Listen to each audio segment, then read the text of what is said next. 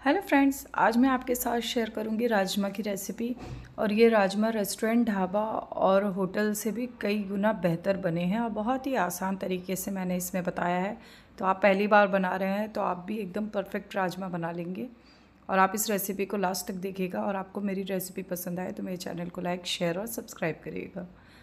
तो इसके लिए मैंने आधा कप राजमा भिगो दिया था। तो करीब आठ दस घंटे के लिए आप राजमा को भिगो दें पहले, बनाने से पहले। तो मैंने सुबह भिगो दिए थे और शाम को हमने बनाया है ये तो कुकर में हम राजमा ले लेंगे।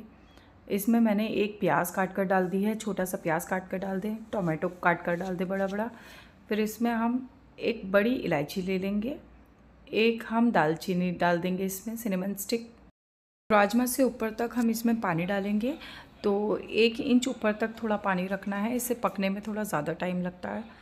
और इसमें मैंने आधा चम्मच मैंने हल्दी डाल दी है वन फोर्थ टी स्पून मैंने इसमें लाल मिर्च पाउडर डाला है और दो पिंच मैंने इसमें बेकिंग सोडा डाल दिया है और नमक डालकर अब हम इसे करीब आठ नौ सीटी आने तक पकाएँगे, जितना छोलों में टाइम लगता है। अगर आपके यहाँ जल्दी गल जाते हैं तो आप कम सीटी लगाएँ। तो आप एक बार देख लें, अगर टाइट हो तो आप दोबारा से इसमें सीटी लगा दें। तो करीब आठ सीटी लगाई थी मैंने इसको, फिर खोला तो ये काफ़ी सॉफ्ट हो गए थे, मैश करने पर आराम से टूट रहा था। फिर उसके बाद हम इसके लिए मसाला तैयार कर लेंगे। तो बहुत ही कम तेल में ये बनाई है मैंने।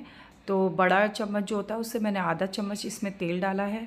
सरसों का तेल यूज़ में लिया है मैंने और फिर वो तेल अच्छे से गर्म हो गया था तो उसमें फिर मैंने जीरा डाल दिया है और दो चुटकी मैंने हींग डाल दी है। एक तेज़पात पत्ता डाल देंगे और प्याज, टमाटो ये सब मैंने काट के रखा हुआ है। तो थोड़ा मैंने बॉईल करते वक्त डाल दिया था, छोटा प्याज, टोमेटो और थोड़ा हमने काट के डाला है। तो एक हरी मिर्च डाल देंगे। जब तेल में तेज़पात पत्ता और जीरा थोड़ा जल जाए तो हरी मिर्च डाल दें। फिर उसमें हम एक छोटा प्याज काट कर बारीक वो डाल देंगे। तो प्याज को सॉफ्ट होने तक हम थोड़ा फ्राई करेंगे। प्याज जब थोड़ा सॉफ्ट हो जाएगा तो इसमें एक टीस्पून हम अदरक लहसुन का पेस्ट ऐड कर देंगे और इसको हम भून लेंगे थोड़ा। तो मैंने कोई भी मसाला नहीं पीसा है, हमने काट कर यूज़ में लिया है तो बहुत ही झटपट बन जाएँगी। तो अदरक, लहसुन जब थोड़ा इसमें भून जाए, उसके बाद हम इसमें एक छोटा टोमेटो काट के ऐड कर देंगे और इसको भी हम सॉफ्ट होने तक पकाएँगे। तो मैंने रेड चिली पाउडर बॉईल होते वक्त थोड़ा सा ही डाला था तो अब आधा टीस्पून मैंने रेड चिली पाउडर ऐड कर दिया है। हल्दी हम नहीं डालेंगे, हल्दी मैंने बॉईल करते वक्त डाली थी। अब इस मसाले को हम थोड़ा भून लेंगे। और जब ये थोड़ा भुन जाएगा अच्छे से, मिर्ची भी कच्ची ना रहे तो दो तीन मिनट भूनने के बाद में मैंने इसमें राजमा ऐड कर दिया है। राजमा में ऑलरेडी पानी है, अभी बॉईल करते वक्त ज़्यादा पानी डाला था हमने तो अभी इसे हम थोड़ी देर पकने देंगे। और अगर ज़्यादा गाढ़ा हो तो आप थोड़ा पानी डाल दें, क्योंकि रखने के बाद में ये और भी थिक हो जाते हैं। फिर मैंने एक हरी मिर्च और काट कर डाल दी है तो ये हरी मिर्च तीखी नहीं है और ऑप्शनल है, आप जितना स्पाइसी खाते हैं, उस हिसाब से आप नमक मिर्च डालें इसमें। फिर ऊपर से हमने हरा धनिया काट कर डाल दिया है, जितना आपको पसंद हो उस हिसाब से आप हरा धनिया इसमें डाल दें। फिर इसको करीब चार पाँच मिनट तक हम पकने देंगे मीडियम फ्लेम पर। और ये यकीन मानिए, बहुत ही टेस्टी सब्ज़ी है। अगर आप लंच में भी बनाना चाह रहे हैं, लंच बॉक्स के लिए भी बनाना चाह रहे हैं तो आप रात में छोले भिगो कर रख दें और सुबह में झटपट बना लेंगे। तो नमक मैंने टेस्ट कर लिया था, थोड़ा कम था तो मैंने नमक और ऐड कर दिया है थोड़ा सा। आधा चम्मच मैंने भुना हुआ जीरा डाल दिया है और मैंने इसमें एक चम्मच अमचूर पाउडर भी डाला था।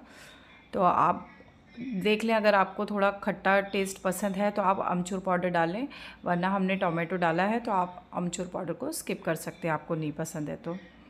फिर मैंने गैस का फ्लेम ऑफ़ कर दिया था और हमने राजमा को सर्व कर लिया है।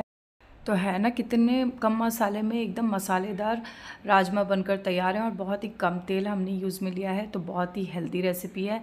होटल और रेस्टोरेंट से भी अच्छा आप घर में राजमा बना लेंगे तो आप एक बार इस रेसिपी को ट्राई करिएगा, बहुत ही अच्छी लगेगी आपको और बहुत ही आसानी से, बहुत ही जल्दी बन जाती है।